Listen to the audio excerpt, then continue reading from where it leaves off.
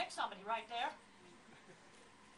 What do you think, do you have any prediction as to what physicians are gonna do for the classification of autism? Oh, on the DSM five? Yeah, yeah, Oh, what a mess. I'm sorry. The problem that you've got with um, diagnosing things like autism, Asperger's, dyslexia, and a whole lot of other disorders, it's a behavioral profile. It is not precise. I, it is not precise. Don't get hung up on these labels. What's PDD? Early onset, not quite enough autism symptoms. Put the big A word on. You know, because for autism you have to have speech delay. Asperger's is milder autism with no speech delay. But it's a behavioral profile. The problem with these behavioral profiles is some of it's based on research, but some of it's based on about 10 scientists sitting in a hotel meeting room hashing it out. and the thing I'm really disgusted is I just found out the other day I was reading that they made the doctors sign a non-disclosure agreement on discussing the DSM-5. And I'm very upset about that. Non-disclosure agreements are things that you sign if you're developing the next iPod, you know, for marketing. You know, scientific things should not be subject to non-disclosure agreements. I am very, very upset about that. Um, I don't have any idea what they're gonna do. They can't talk. They've had to sign this, this paper.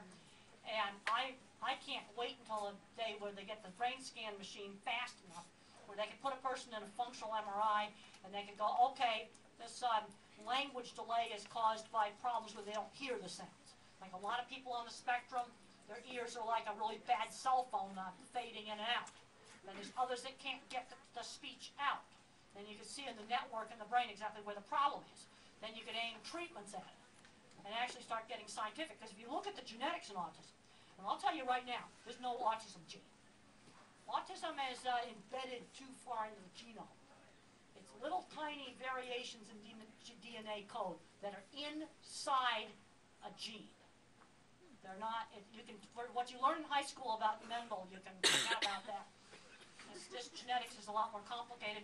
And Peter Szatmari up in Canada has been looking at 3,000 families, crunching a lot of data through the computer, and finding that speech delay and things like abnormal gesture are working on different genetics. So what's going to be found is the different genetic uh, abnormalities, but these are very slight abnormalities.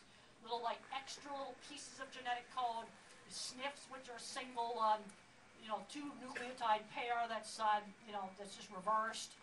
Uh, there's no, there's not going to be any way to like take the genetics out, because if you got rid of all the autism and Asperger's, you know, who do you think would have made the first stone spear?